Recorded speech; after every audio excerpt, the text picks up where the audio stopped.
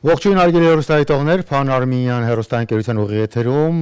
իր աշխատանք դեսքում Փան Արմենիան լայվը եւ տաղավարում ինչպես տեսնում եք ես եմ եւ իմ գործընկեր Մհեր Բաղդասարյանը։ Բարի երեկո բոլորին, ովքեր միանում են Փան Արմենիան հերոստալիքի ուղիղ միացման ուղի եթերին, մենք լինելով հերոստակայան շարունակելով կատարել մեր գործը առաքելությունը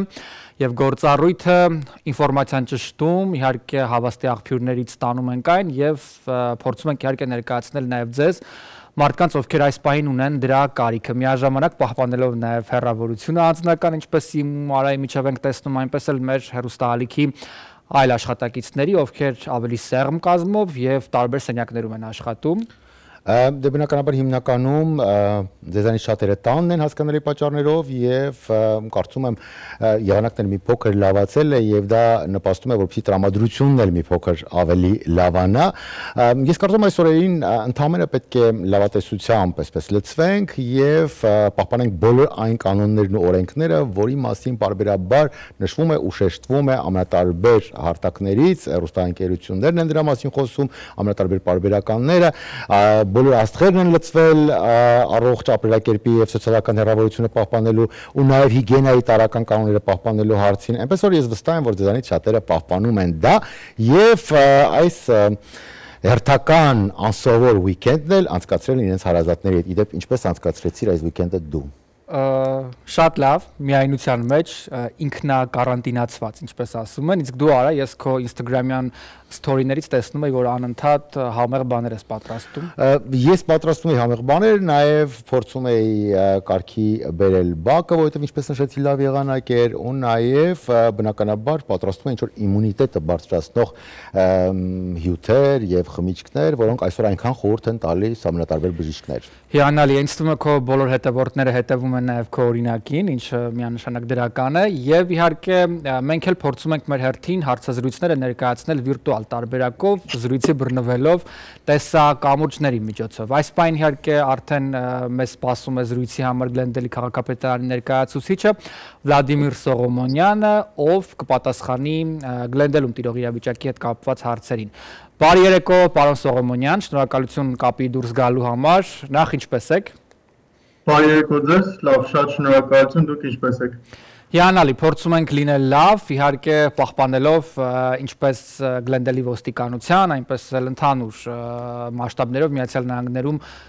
բոլոր կանոնները եւ իհարկե փորձենք այսօր միասին զրուցել հենց թեմայի վերաբերյալ։ Պարոն Սողոմոնյան, ինչ պետք է անել, որպիսի փրկել սեփական եւ այլոց կյանքը։ Ինչպես պետք է հետևել օրենքներին եւ որոնք են դրանք այս պայն եւս մեկ անգամ։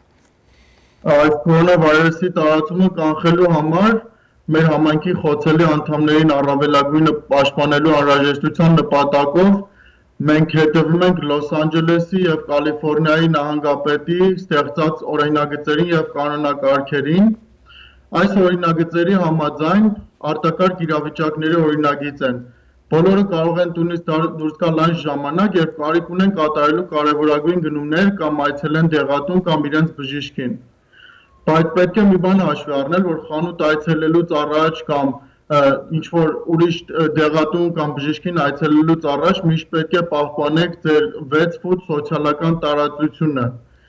Բոլոր տեսակի հավաքույթները ներկայումս արգելվում են ամբողջ Կալիֆոռնիայում մեկ։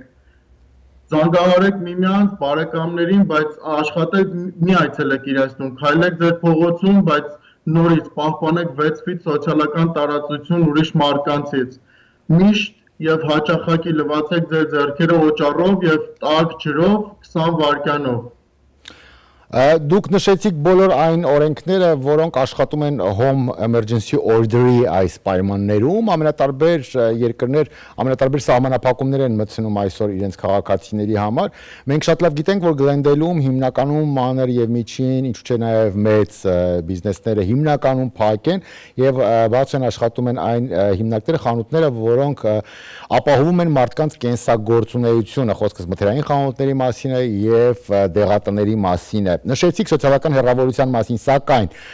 ես նկատել եմ, որ հայկական խանութներում մարդիկ երբեմն այնքան էլ չեն պահպանում այդ սոցիալական հերավորություն կոչվածը։ Այ ինչ խորհուրդ կտակ, ինչ պետք է անել, որպեսզի հնարավորինս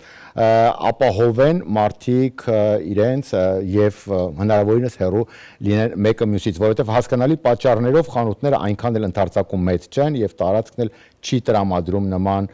գործընթաց կատարելուն լիովին համաձայն եմ ձեզ հետ, մենք ստանում ենք այսպիսի զանգեր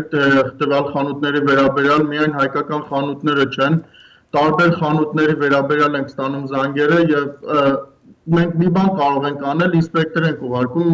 մեր code enforcement section-ից, որպեսզի գնան եւ խանութի տերերի կամ մենեջերների հետ խոսեն, որպեսզի պահպանեն կանոնակարգերը կամ շատ դեպքերում զանգահարում ենք եւ զանգերով հարցը լուծվում է։ Խանութի տերերը փորձում է պահպանել այս ամենը։ Ես նույնպես ականատես եմ եղել ձեր ասածներին, ես էլ եմ եղել հայկական խանութներում եւ այլ խանութներում առևտուր եմ արել եւ մարդիկ չեն պահպանում այդ սոցիալական սոցիալական տարածությունը։ Բայց Սողոմոնյան իրենք մարկ են անում, 6 feet մարկեր են դնում, ասենք paper-ով կամ գետնիներին մարկեր են դնում 6 ֆիտ իրարից հեռու, որպեսզի մարդիկ կարողանան, ասենք, չեկաուտ անելուց, վճարելուց իրարից հեռու կանգնել ու այդ ձև վճարել։ Պարոն Սողոմոնյան, որ բիզնեսներն իրավունք ունեն աշխատելու Գլենդելում եւ որոնք ոչ։ Հիմա կթվարկեն բոլոր այն բիզնեսները, որոնք չեն կարող աշխատել Գլենդելում։ Բոլոր բիզնեսները, որոնք նշված չեն որպես կարևոր բիզնես, Դրանք են օրինակ մոլերը, առևտրի կենտրոնները գլենդելում։ Եթե մոլերի մեջ ունեն տեղակայված կարևորագույն բիզնես, դրանք կարող են բաց լինել միայն այն դեպքում, երբ դրանք ունենան առանձին մուտք առևտրի կենտրոնից դուրս։ Դրանք կարող են լինել ռեստորանները կամ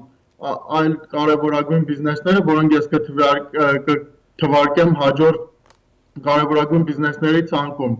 Բարերը եւ գիշերային ակումբները, որոնք չեն տրամադրում ուտելիք մարզվելու ակումբները եւ ֆիթնես կենտրոնները, բոլոր տեսակի թատրոնները, կինոթատրոնները, մարզադաշտերը, համերգասրահները, բոուլինգի ակումբները, խաղասրահները, կինետները, գարեջրատնները եւ այն հաստատությունները, որոնք տրամադրում են խմիչքի նմուշներ։ Ներքին կամ բացօթյա խաղահրապարակները երեխաների համար բացառությամբ, եթե նրանք գտնվում են երեխաների համար հատուկ խնամքի կենտրոններում։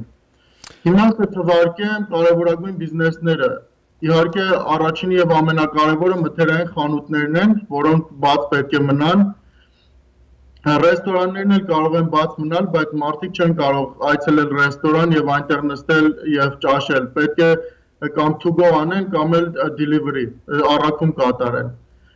Ֆինանսական կազմակերպությունները, բանկերը, կրեդիտ միությունները, տրանսպորտային ծառայությունները, ինչպիսիք են Beeline-ը, Metro-ն, Uber-ը, Lyft-ը, տաքսիները,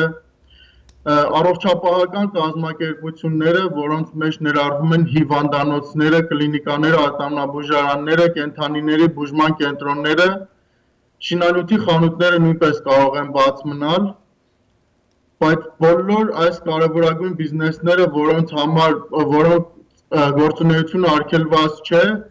պետք է փորձեն պահպանել այս համանապակ սոցիալական հեռավորության պահանջները, այսինքն ներկաներին պետք է խրախուսեն, որպեսզի իրարից հեռու մնա 6 ֆուտ, որքանով դա հնարավոր է, պետք է ունենան ձեռքի լվացման օբյեկտների հասանելիություն, որոնք ունենան օճառ եւ ջուր կամ ձեռքի մաքրող միջոցներ, որոնք առնվազն պարունակում են 60% ալկոհոլ,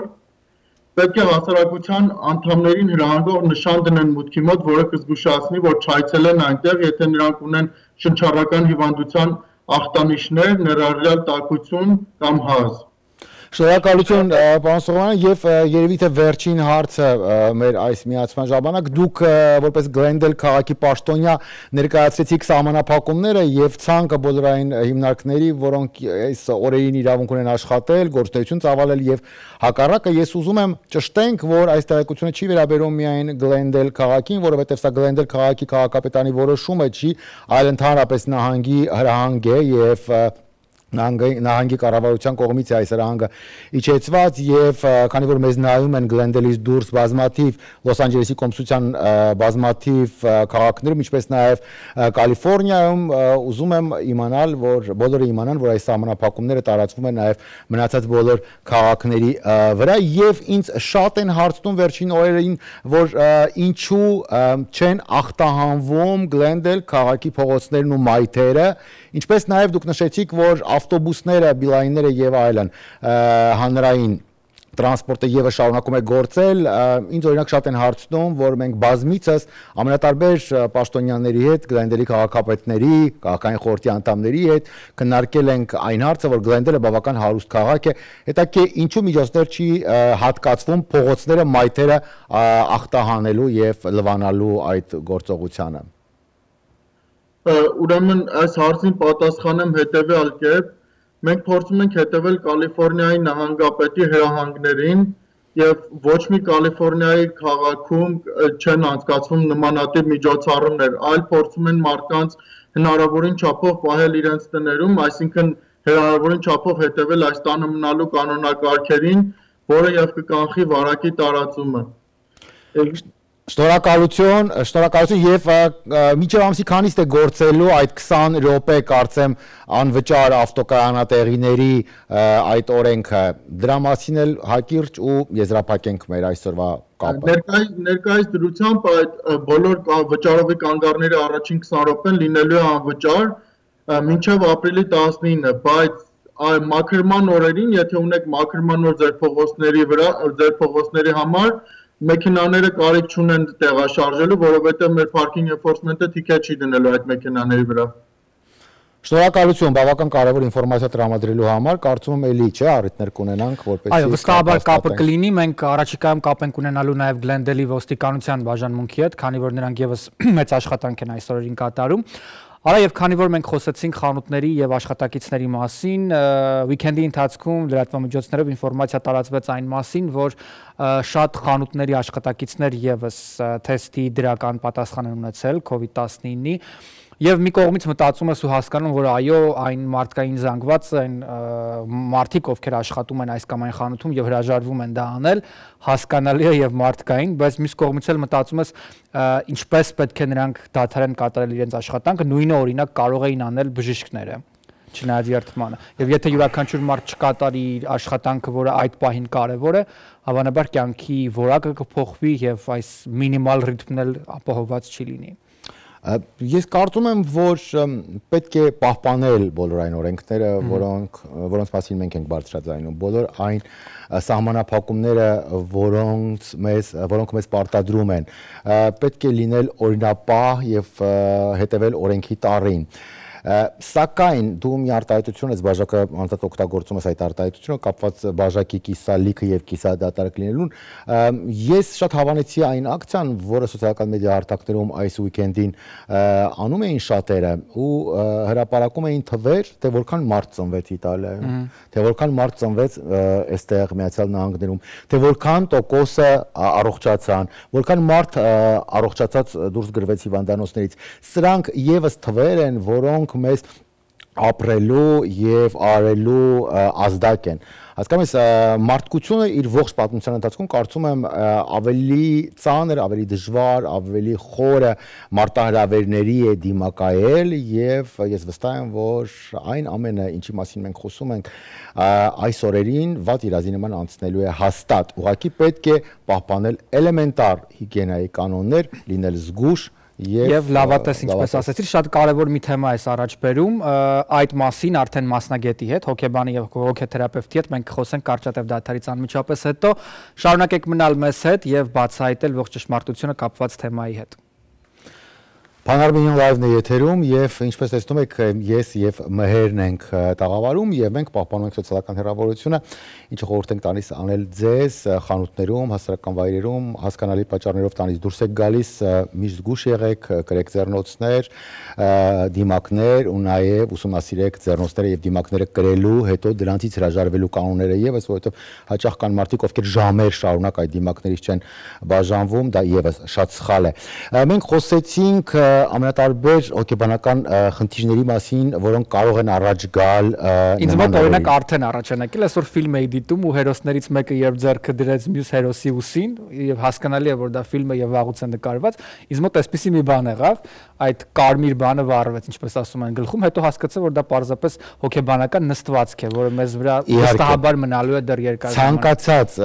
նման օրինակ արաբիկներից հետո որոշակի ժամանակ է պետք, որովհետեւ մարդիկ կարողանան ձերբազատվել այն հոգեբանական խնդիրներից, խնդիրներից, բարդույթներից,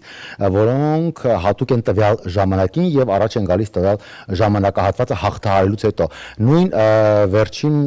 նման բարդույթը, որ համակեց բոլորին, մանավանդ Միացյալ Նահանգների բնակիչների եւ քաղաքացիներին, դա սեպտեմբեր 11-ից հետո վախներ բոլոր այն մարդկանցից, ովքեր կրում էին սև համազգեստ, խիջաբ, ովքեր ակնհայտ երևում էր, որ միջին արևելքից են։ Այդ վախը, այդ ֆոբիան գնալով կխորանար, եթե չկատարվեր ճիշտ աշխատանք հոգեբանական եւ կարծում եմ բավական արագ մարդիկ ձերբազատվեցին սեպտեմբեր 11-ից հետո ձերք բերովի այդ բարդույթից։ Բնականաբար կորոնավիրուսի այս օրերին միայն դու չես, որ ֆիլմ նայելուց ինչ որ ցնցումներ ես ապրում, այլ կարծում եմ դա հատուկ է շատ շատերին։ Եվ դեռ երկար էլ կմնա, այդ իսկ պատճառով մենք կարևորում ենք նաև ոչ միայն ֆիզիկական առողջությունը, այլ նաև հոգեբանական առողջության ասպեկտը։ Այդ իսկ պատճառով զրույցի ենք բռնվում նաև հոգեբան, հոգեթերապևտ Այրին Յայմաջյանի հետ, ով նաև մի հետաքրքիր ու գեղեցիկ ակցիա է կազմակերպել Hillside Wellness Center-ը միջև ապրիլի 19-ը բոլոր ցանկացողներին անվճար կերպով COVID-19-ի կորոնավիրուսի վերաբերյալ հոգեբանական աջակցություն եւ թերապիաներ կտրամադրի եւ Skype-ով եւ դրա համար որևէ բան պետք չի վճարել։ Ես ինքս էլ աշխատում եմ Այրինի հետ, իհարկե ոչ COVID-19-ի, այլ այլ թեմայով եւ պետք է ասեմ, որ նա բացի պրոֆեսիոնալ լինելուց նաեւ ունի հիանալի աուրա եւ էներգիա եւ ուզում ես ամեն ինչ պատմել ու հետո թեթևանում ես։ Դե ինչ ես մեկ եպե շուտ առաջարկում եմ կապ հաստատել։ Հետո թեև ինձ թվում որ հոգեբանն էլ հոգեբանի կարիք կունենա, բայց ես առաջարկում եմ մեկ եպե շուտ կապ հաստատել այն հոգեբանի հետ, ով մոտավորապես ամեն ինչ կամ արդեն ամեն ինչ գիտի իմ գործընկերոջ Բերբարդասյանի մասին։ Բարի երեկո Այրին, շնորհակալություն կապի համար։ Ինչպե՞ս ես։ բարի։ Լավ, դուք ո՞նց եք։ Շատ լավ, հիանալի։ Այրին մենք խոսում էինք այն մասին, որ այս պահին կարևոր է բնականաբար պահպանել առողջությունը, ֆիզիկական իմունիտետը բարձր պահել, բայց կարևոր է նաև հոգեբանական հատվածը, տրամադրությունը, որը իդեպ եւս ազդում է իմունիտետի վրա։ Մի փոքր այդ մասին, ինչպես պահպանել հոգեբանական եւ հոգեկան հավասարակշռությունը այս օրերին։ Շատ կարևոր է։ Այն մեր հոգեկան առողջությունը շատ է ազդվել, մանավանդ այս հիմա ինչ աշխարհով մեկ ինչ որ լինում է այսօր մամայից հետ դուրս է ելել ու չեն կարողում դաժե մատ խանութ գնանք ու գնանք հետ տուն առանց you know մեր շորերը կոշիկները սպրեյ անելով ամեն ինչով so ամեն ինչ ինչ որ հիմա լինում է շատ մարդիկ ոնց որ վախի մեջ են մտել ու էսի ոչ թե մենակ հիմա է մարդկանց վրա ազդում բայց հետո էլ է ազդելու որովհետև էսի որ անցնի ոնց որ sense մեջը տպավորվում է ոնց որ ամեն ինչ պիտի մաքուր լինի պիտի զգուշ լինես ու մտես խոսում ինչ ես առնում, ուր դերից ես առնում ու ամեն ինչ։ So, սիմենակ քիմիկվա բան չի, նո հետո էլ է սկսելու ավելի երկարանալու ու պիտի նենց անենք, որ մենք մեզի լավ նայենք, որ իմանանք, որ էսի ժամանակավոր է, որ էսի միշտ sense չի լինելու ինչ խորտ կտաս բոլոր այն մարդկանց, ում մոտ ակնհայտ զարգանում է վախը ուրիշ անծանոթ մարդուց։ Դա ես զգացել եմ խանութներ այցելության ժամանակ։ Մարդիկ խուսափում են եւ սարսափում են իրենց մոտ կանգնած ուրիշ մարդուց։ Եվ կարծում եմ հոգեբանական ճիշտ օգնության կամ ուղղորդման, ուղղորդում չլինելու պարագայում սա վերածվելու լուրջ ֆոբիայի։ I mean, հիմա այդ ֆոբիան, այդ փանիկը շատ նորմալ բան է, որ մարդկանց մեջ առաջուցին, այս մի մի ամիս, երկու ամիսա որ արդեն մտել է։ Էդի ոչինչ, բայց հիմա արդեն այնց ժամանակ է գալի, որ արդեն մենք սովորում ենք sense ապրելու, մենք պիտի միշտ զգուշ լինենք, ոչ թե մենակ հիմա պիտի միշտ դու քեզ հիշացնես որ տարբեր բաներ, միշտ տարբեր վիրուսներ ամեն ինչ եղել է աշխարհում, բայց մենք sense վախի մեջ չենք ապրել սաղսը հիվանդացել ենք, սաղսը մեկին կարողա կպել ենք, որ որ շատ մաքուր չէր, բայց հիմա ամենակարևորը այն է, որ դու քեզ հիշեցնես, որ Եթե ամեն մեկս կարանք մենք մեզի մաքուր պահենք, մեր ձեռքերը լվանանք, շատ մարդկանց հետ չշփվենք, ոնց որ մարդկանց մեր տունը չկանչենք, որ դուրսը բարբեկյու ենք անում կամ sense մի բան if it's unnecessary don't do it. So խանութ որ գնում ես ու մարդկանց կողքերը կայնում ես ու մի քիչ sense վախա մեջ դու քեզ հիշեցրական հետ մի քիչ կարաս կայնես կամ հիշեցնես որ սաղ են հիմա իրանց մաքուր են շատ պահում որովհետև սաղ են վախենում մենակ դու չես վախում Այն դու հոգեբանական վարժություններ եւ փաստորեն նաեւ տեսակցություններ ես անում վիրտուալ տարբերակով մի փոքր պատմիր իհարկե պահպանելով բնականաբար կոնֆիդենցիալ հատվածը թե ինչի մասին են մարդիկ ամենից շատ գանգատվում այս ընթացքում հոգեբանական որ խնդիրներն են ամենատարածված այս օրերին Well, ես շատ մամաների հետ եմ also աշխատում, ու իրանք շատ մարդիկ հիմա ում որ ում որ այդ խոսում եմ իրանք ասում են որ վախում եմ կարողա ոչ թե ես հիվանդանամ բայց կարողա իմ ամուսինս հիվանդանա կամ իմ կինս հիվանդանա կամ իմ երեխեքս հիվանդանան ու իրանց հիշացնում եմ երեխեքը շատերը չեն հիվանդանում այս այս վիրուսից չեն կարա մենք նստենք ու մտածենք ինչ կարա լինի պիտի մի հատ կոն որոշվենք մենք you know ինչա լինում ու ոնց կարանք նենց անենք որ չհիվանդանանք, ասես պիտի մտածես դու քեզ համար ինչ կարաս անես հիմա, որ կարողանաս հանգիստ ապրես ու շատ stressed out չլինես, որտեվ when we panic մեր immune system-ը իջնում է ու հետո մենք կարանք հիվանդանանք այդ վաղ։ So panic-ն է ոչ մի բան չի օգնում հիմա մեզի։ So մի հատ հիշեցնես դու քեզի, որ you're doing the best you can. Um շատ մարդիկ actually հիմա constant panic-ի մեջ են, որտեղ իրանք կարող է հիվանդանան, բայց իրանք զգում են ոնց որ մենակությունից են իրանք նեղվում հիմա։ Այո, ես այդ դրա մասին եի ուզում հաջորդ հարցը տալ, որովհետև գաղտնիք չէ, որ Միացյալ Նահանգները հանդիսանում են միայնակ մարդկանց հասարակություն, մոռանանք, որ մենք հայերս այսպես ընտանիքով ենք, համախմբված ենք, սակայն 350-ից ավել միլիոն բնակչություն ունեցող երկիրը հիմնականում միայնակ մարդկանց հասարակություն է։ Սակայն այդ մարդիկ աշխատում էին, այդ մարդիկ գնում էին աշխատանքի գոնե 8 ժամ, թեկուզ քիչ սահմանափակ, բայց շփվում էին իրենց գոլեգայի իրենց աշխատակցի հետ, գոնե քիչ սահմանապակ շփվում էին իրենց հաճախորդի հետ։ Այս օրերին, երբ մարդիկ տանն են, բնականաբար այդ շփումը եւս չկա։ Շատերը չունեն ընկերներ, շատերը չունեն հարազատներ։ Ինչ ինչ եք խորհուրդ տալիս դուք հոգեբաններդ նման մարդկանց հոգեբանական ստրեսային ծանր վիճակից դուրս գալու եւ ավելի խորը ստրեսի մեջ չմտնելու համար։ Գիտեք, շատ հետաքրքիր բան է actually լինում հիմա, որովհետև մենք որ 8 ժամ գործի ենք, մենք միշտ երազում ենք որ տունը լինենք, տունը ինչ կարանք անենք, ընտանիքների հետ լինենք, մեր երեխեքի հետ լինենք, օ տունը լինե գոնե դուրսը կարայի նստեի, մի բան կարանե։ Ու հիմա այդ ժամանակն է, որ կարաս դուրսը նստես, կարաս կոֆեդ enjoy անես դուրսը, մի քիչ աշխարհ ոնց որ դանդաղացել է ու գիտեք actually research-ն է որ կարդում ես շատ շատերը ասում են, որ դաժե մեր օդն է մաքրվել, ջուրն է մաքրվել շատ տեղերը։ So լավ բաներ լինում է։ Այո, Ֆրանսիայում առաջին անգամ պատմության մեջ երկար տասնամյակների վեր օդը մաքրվեց, օդի որակը մաքրվեց առաջին անգամ, եւ դա Փարիզի տեղական ինքնակառավարման մարմիններն էին տեղեկացնում։ Շարունակելով Արայի առաջարկած թեման, բայց մի փոքր փոխելով հունը, այն ընթացքում, երբ ամեն ինչ ստեղծվեց, որպիսի ամեն ինչ լինի արագ, օպերատիվ եւ այլն, մարդիկ դարձան ավելի միայնակ, քան երբևէ պատմության մեջ ու մենք հաճախ միջև այս դեպքը, միջև այս վիրուսը խոսում էինք այն մասին, որ կյանքը դառնում է մոբայլ եւ մենք տեղափոխվում ենք վիրտուալ տիրույթ, որտեղ ավելի համարցակ ենք, բայց մենք մենք չենք երբեմն եւ այլն։ Եվ հիմա, երբ օրինակ դու ստիպված ես քո հաճախորդների հետ օրինակ հանդիպել վիրտուալ տարբերակով ուղիղ 15 րոպեից համալսարաններից մեկի համար դասախոսություն ես կարդալու, այդ ամենը արվում է վիրտուալ։ Ինչ ես կարծում, հետո առաջ չի գա այդ ինտերնետային եւ վիրտուալ հիվանդությունը, որը միջև այս էլ կար, բայց նման մասշտաբներ դժվար ունենար։ Hmm, շատ լավ, that's a good question actually. Չեմ կարծում, որտեվ միշտ լինելու է մարդիկ, որ ուզում են virtual-ով, you know, Zoom, Skype կոմպյուտերներով բանան, լինելու է մարդիկ միշտ որ չեն ուզում։ So I don't know եթե հանգարցեսի շատ ազդելու է մարդկանց վրա, եթե դա ոնց որ եթե ճիշտ եմ հասկանում the question. Um I don't think it's going to affect them. Մարդիկ as a human being դու միշտ ուզում ես մարդկանց հետ connection So չեմ չեմ չեմ տենում որ մարդիկ միշտ sense Մհերը նշեց այդ connection-ի մասին, այդ connection-ը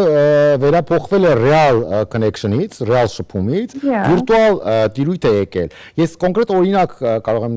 ձեզ բերել, որպես հոգեբան, լուծումը երևի թե միասին փորձեն գտնել։ Երեք երեկոյան իմ բնականում ինտերնետը անջատվեց։ Եվ նման պանիկա, նման խոճապ իմ մոտ երբևիցե չէր եղել երբևիցե ես կարող եմ զուգահեռ անցկացնել նման խոճապ երևի թե ես ապրել եի երբ մութ ու ցուրտ տարիներին Հայաստանում անջատում էին հոսանքը էլեկտրականությունը այ նման օրինակ խոճապ էր ուրիշ օր էին հաստատ ինտերնետի բացակայությունը իմ բնականում ինձ ընդհանրապես երևի չանհանգստացներ հասկանում եք փաստորեն նոր ֆոբիաներ են առաջ գալիս նոր ֆոբիաներ մենք պետք է հաղթահարենք այս դրա մասին է խոսքս օրինակ առաջ երբ առանձին վերցած մարդկանց խմբում մեկը չափից շատ մակրասեր էր, ասում էին OCD ունի եւ անդադ ծաղրում էին, որովհետեւ անդադ ջնջոցը, լաթը, կտորը ձերքին անդադ փորձում էր մաքրել սենյակը, մաքրել բնակարանը։ Այսօր մենք բոլորս հայտնվել ենք այդ կարգավիճակին։ ինչպես դուրս գալ այդ նման հոգեբանական հիվանդություն, ես օրինակ ունեմ ծանոթներ, ընկերներ, ովքեր անգամ ձերքով երբեմն իրար չեն բարևում կամ անմիջապես հետո լվացվում են, ինչը տարածված էր ու հիմա ինձ թվում է մասշտաբային առումով միանգամայն այլ չափերի է հասնելու։ Yeah, բայց էսի չի նշանակում, որ մարդիկ սկսելու են արդեն whoever has it has it. If you have OCD, you have OCD. If you don't, հիմա կարող է մի քիչ ավելի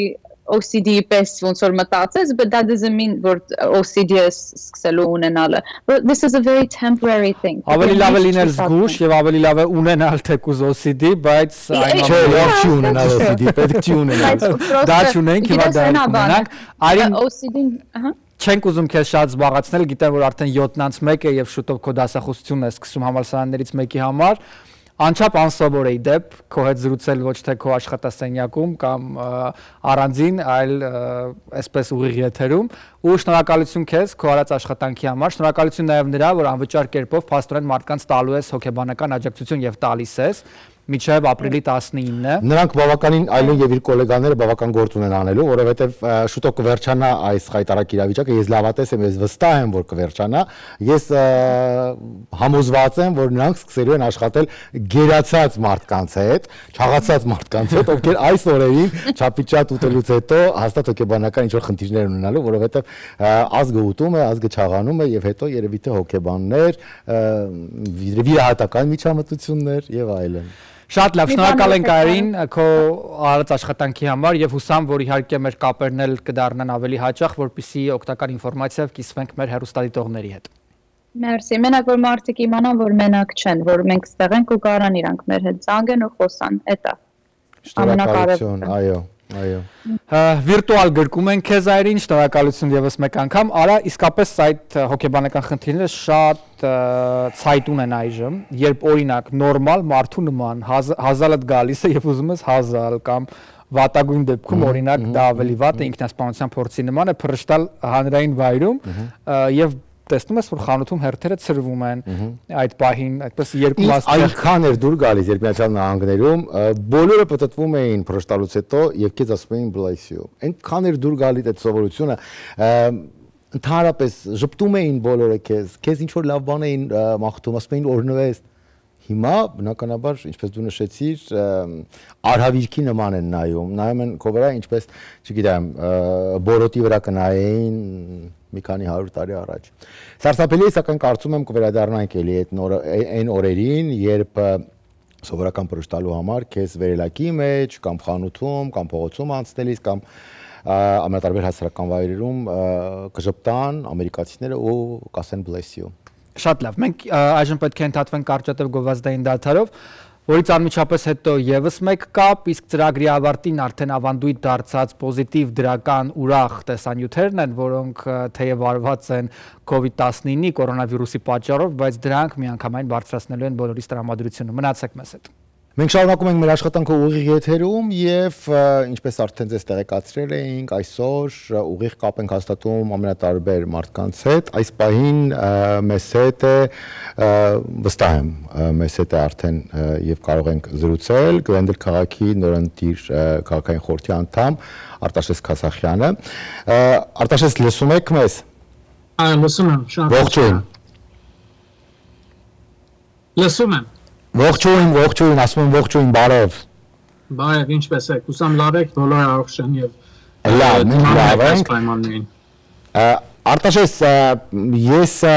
ուզում եմ ուղղել քեզ շատ կարևոր հարց, հարց, որը որի մասին ինձ համենայն դեպս շատ են գրում այս մի քանի օրվա ընթացքում ինչպիսին են օրենքները կապված բնակարանային վարձի չվճարելու հետ, ինչ սահմանափակումներ ունեն մեր հայրենակիցները եւ առհասարակ քաղաքացիները, ովքեր ունեն ֆինանսական դժվարություններ եւ չեն կարողանալու վճարել իրենց բնակարանի վարձը, քանի ամիս կարող են չվճարել եւ չվճարված այդ գումարը ինչ ճակատագիր է ունենալու հետագայում Հիմա պետք է մանրամասն ավելի փորձենք ինչքան որ կարող ենք ժամանակի ընթացքում բացատրենք թե տարբերությունը ինչ է այժմ չվճարել կարելի չէ, այսինքն ինչ որ հիմա օրենքը անցկացվել է նահանգապետի կողմից Գավին Նյուսոմի կողմից ասում է որ տանտերը իրավունք ունի վրընդելու կամ դուրս գցելու մեկին չվճարելու համար բայց հիմա եթե այդ անձը պիտի չվճարի դա հաստատված չի եւ ես կարաչարկեի մարդկանց որ իրենց պայմանները այնպիսի բանով առաջ այսինքն պարզապես չյենթադրեն, որ պիտի երբեք չվճարեն վարձը։ Լսել եմ մարդիկ, որ որոշում կամ համաձայնություն են ունեցել, որ վարձը հետո պիտի վճարվի։ Միակ բանը, որ հիմա հստակորեն նահանգի կողմից հայտարարվել է, որ մինչև մայիս 31-ը ոչ մի տանտեր իրավունք չունի մեկին փողոց դնելու կամ դուրս գցելու, այն պատճառով, որ իրենք իրենց վարձը չեն վճարել։ Հիմա սրա օրենքի հետ մի բան կա կախված, որ յուրաքանչյուր անձ, որ չի վճարում, պետք է հենց իրենց չվճարելը կապած լինի կորոնավիրուսի, այս COVID-19-ի հիվանդության պատճառով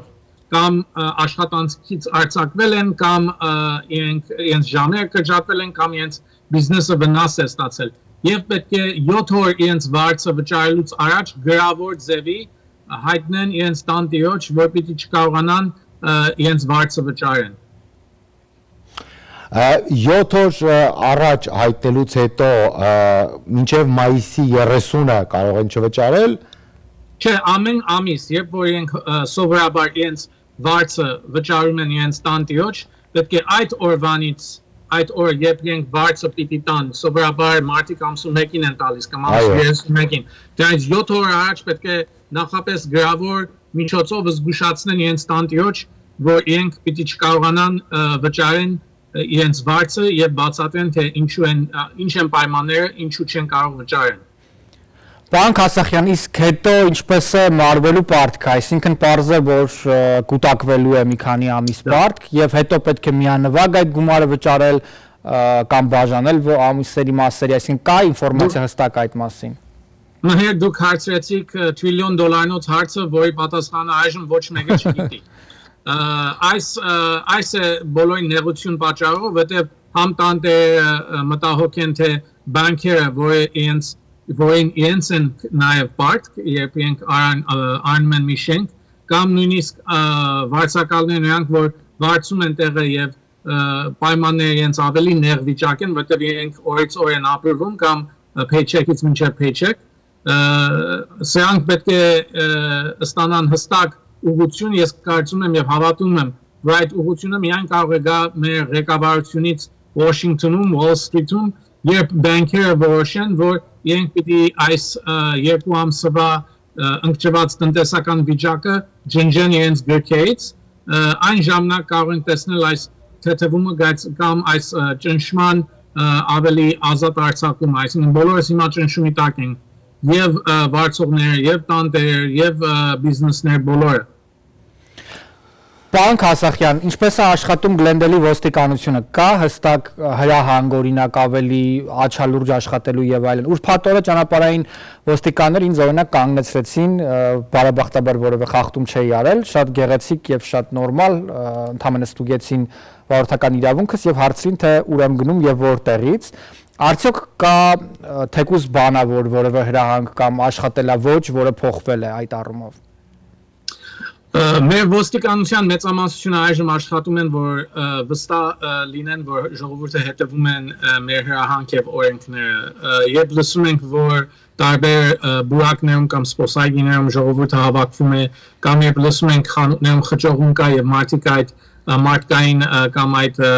սոցիալական հերավորությունը չեն պահպանում, այն ժամանակ մենք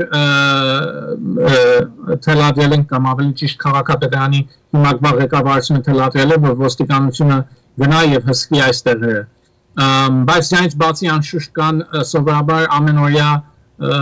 դեպքեր որ կպատահեն եկ երկոյան եկ գիշեր եղավ զենքով ոչագործություն գլենդելում որից մենք սպասում ենք դեր տվյալներ եւ տեղեկություններ, ուրեմն մեր ոստիկանությունը կարող են վստահեցնել, որ բավականին սպառված է այժմ եւ կշարունակեն սպառված լինել, մինչեւ որ այս մեր վիճակը թեթևանա ստատիստիկան ինչ է ասում? Այսօրին երբ մարդիկ տանն են որ հանցագործության տեսակներն են ավելացել։ Բնականաբար բնակարանային գողությունը հասկանալի պատճառներով պետք է որ նվազած լինի, որովհետև անընդհատ 24 ժամ մարդիկ չեն բացակայում իրենց բնակարաններից, իրենց տներից։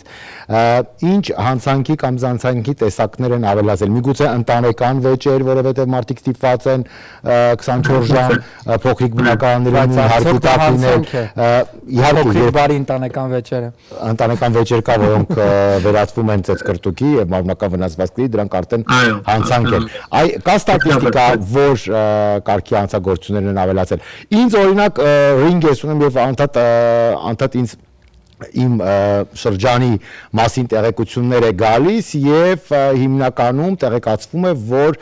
տարել են այս կամ այն բնակարանի դիմաց դրված արկղը փոստատարի միջոցով բերված կամ փորձել են բացել մեքենաների դրսում կայանած մեքենաների դռները այդ այդպեսի դեպքերը այո շատացել են կնեք որ խնդացի պարզապես որովհետև ես էլ գիտեմ անձնապես թե ինչպես տան մեջ լինելով նույնիսկ քո հարազատ սիրված եւ սիրելիք ընտանիքի անդամների հետ կարող է որևէ մեկի ներվերը լարված լինեն բայց դա չի ներում նրանք որ ասենք թե լուրջ վտանգի մեջ են եւ եթե մեկը որևէ մեկը հավատում է, որ իրենց տան մեջ լինելով իրենք ենթարկվում են վտանգի, կարող են անմիջապես զանգահարեն ոստիկանատանը եւ անկախ որ հիմա այս COVID վիրուսի հարցերով ենք մեծամասնություն սպառված, մենք կվստահեցնենք ապահովել որևէ մեկի կամ կապահովենք որևէ մեկին, որ չվնասվեն։ Բայց դուք նշեցիք արդեն արա, այո, տնային մեքենաների գողոպտում արկղներ, որ գալիս են արկղ չէ, բայց կապոցներ, որ Amazon-ի կողմից թողնվում են որևէ մեկի դրան առաջ, դրանց գողությունը, բայց նաև կարծեմ մարդիկ ես ինքս ականատես եմ, թե ինչպես մարդիկ տեսնելով թե ինչքան քիչ մեքենաներ կան մեր փողոցների վրա, օրենքների խախտումով արագ անուշադեր ձևի են շարունակում վարել իրենց մեքենաները, ենթարկվելով եւ իրենց եւ ուրիշներին վտանգի եւ պետք է բոլորը շարունակենք զգուշ լինեն։ Պարզապես որովհետեւ հիմա բոլորին հրանք է եկել, որ տունը մնանք, դա չի նշանակում, որ օրենք եւ կանոնը պիտի մոռացվի։ Այո, համաձայն եմ եւ շնորհակալ ենք ուղիղ կապի մի հարց եւս ես ունեմ թեմայից դուրս։ Իհարկե ուրիշի տունը նայել էթիկապես այնքան էլ ճիշտ չէ, բայց այս տեսակ ամուրջով մենք տեսնում ենք բազմաթիվ գրքեր ձեր հետևում։ Այժմ երբ ինքնամեկուսացված եք բացի աշխատելուց տանը, նաև շատ ժամանակ ունեք։ Մի քանի խորհուրդ թե ինչ անել, որpիսի չանցնի ձանձրալի ինքնամեկուսացումը։ Ես ինքս իմ ընտանիքի հետ, որտեղ դպրոցներ փակեն, փորձում եմ ռեժիմով իմ օրը անցկացնել։ Դա դրա մեջ ընդգրկվում է իմ email-ները պատասխանել, հետազոտել թե ինչ է նորությունները COVID վիրուսի հետ, քանի հիվանդ ունենք Գլենդելում եւ շրջական մեր, շրջապատի քաղաքներում, որտեղ ես հավատում եմ միջայլոց, որ ինչ որ տեղի է լինում Glendale-ում, այսինքն այս հիվանդությունը, այս վիրուսը չի հետևում սահմանների։ Երբ մենք ասում ենք օրինակ Glendale-ում կա մոտավորապես 62 հիվանդ, պետք է նաև նկատի անենք, որ մեր շրջապատող քաղաքներն էլ հիվանդները կարող է շփվել մեր բնակչության հետ եւ այլն։ So ես ինքս այս գործով եմ զբաղված, բայց օրական փորձում եմ երկու ժամ դասյակությունով իմ զավակին զբաղվել, մենք սովորում ենք հայերեն այբուբենը եւ անգլերեն այբուբենը պատրաստվում ենք երկու տարվա դպրոցին եւ այս տարվա դպրոցին, որտեղ դպրոցը դժբախտաբար որ մենք հիանալի դպրոց է Թուֆենկյան վարժանը փակվեց այս պայմանների տակ եւ կինս նաեւ շարունակում է իր աշխատանքը։ Դրանից բացի երկարթալ ինտերնետով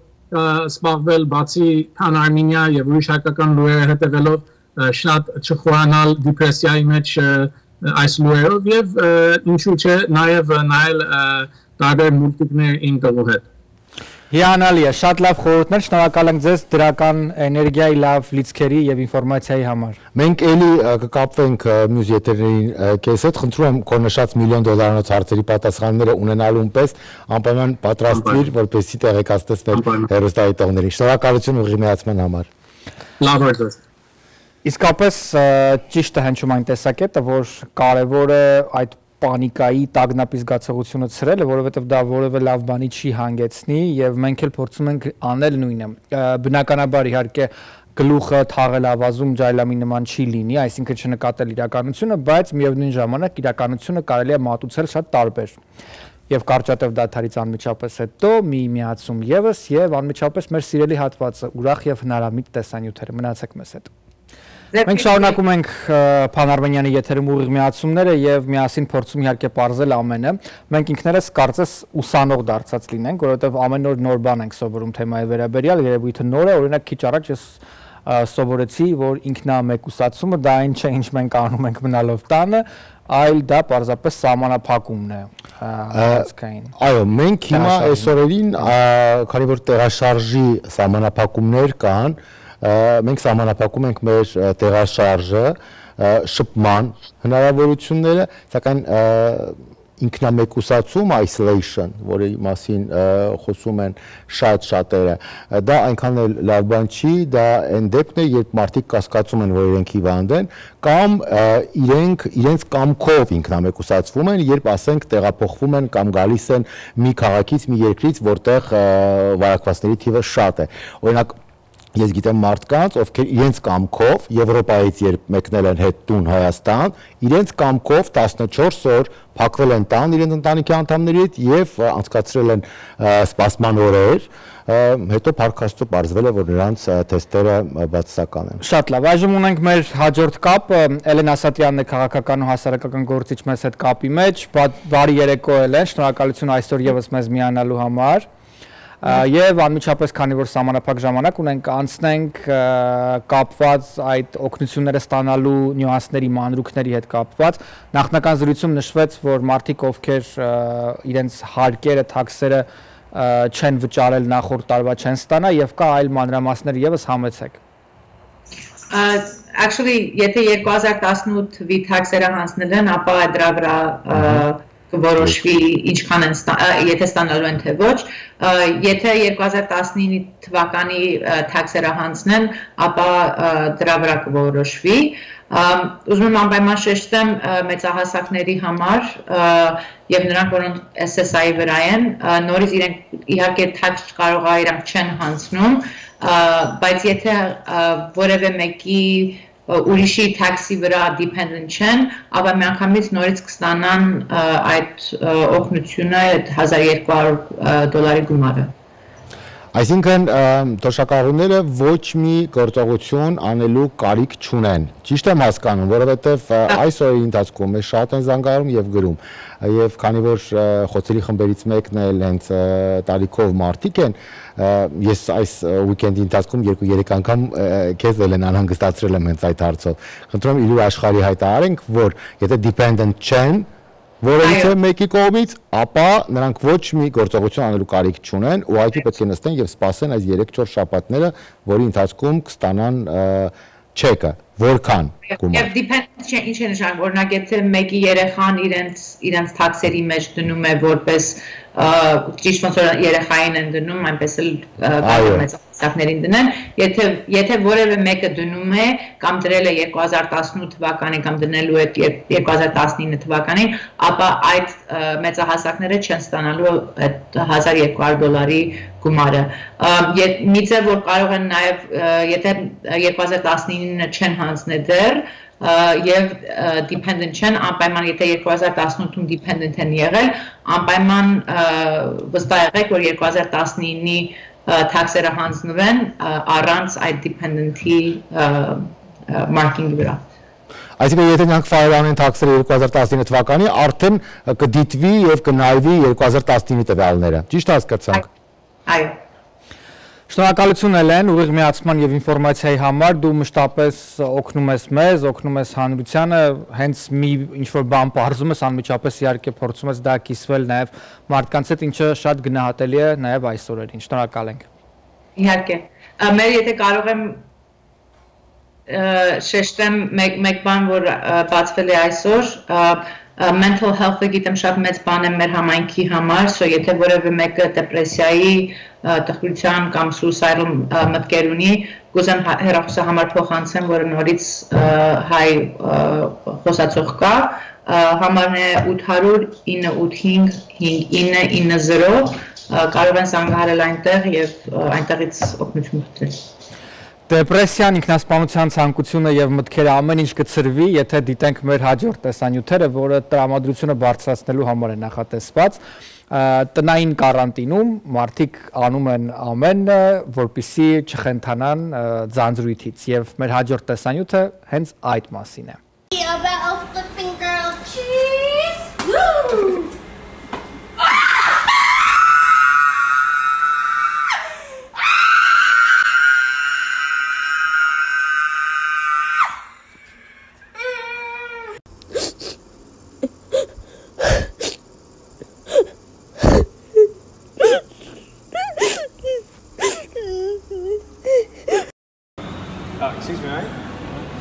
time base? No, I'm good.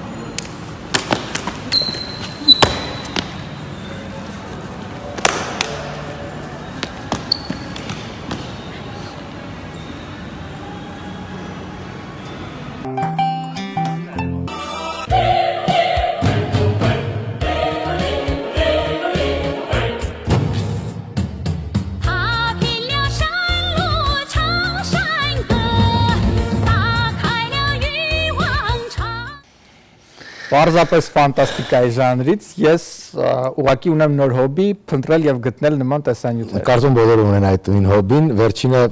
իդեպ չափազանց ակտուալ է, որովհետեւ այդ թղթերի հետ կապված բումը դեռևս չի անցել։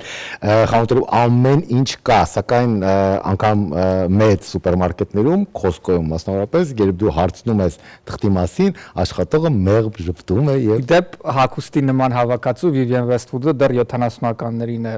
ունեցել եւ աստորեն նա կանխատեսել է որ մի օր դառնալու է թանկարժեք մի բան։ Արի քանի ժամանակը խնայենք, դիտենք մի տեսանյութ եւս, որը շարունակում է պատշգամբերի սուբկուլտուրան, ենթամշակույթը եւ այս անգամ այն անգամ ակումբային թեմայով է։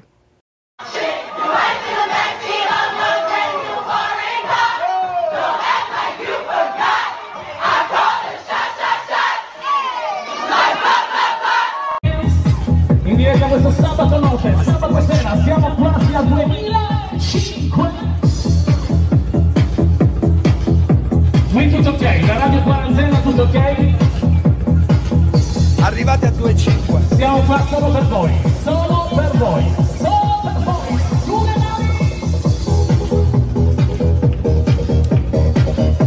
A 3.000 dobbiamo arrivare, Daniele.